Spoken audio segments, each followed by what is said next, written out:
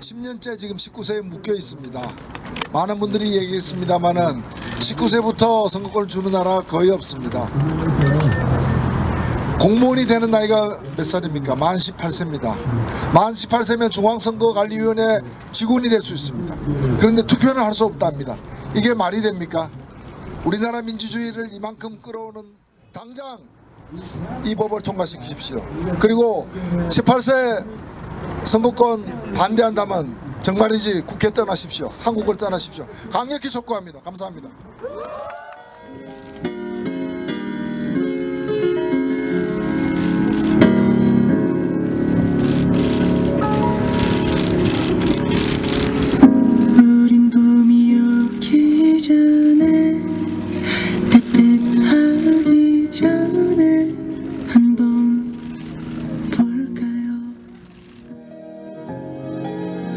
사실은 난또 봄이 오는 게 따뜻해지는 게 싫어.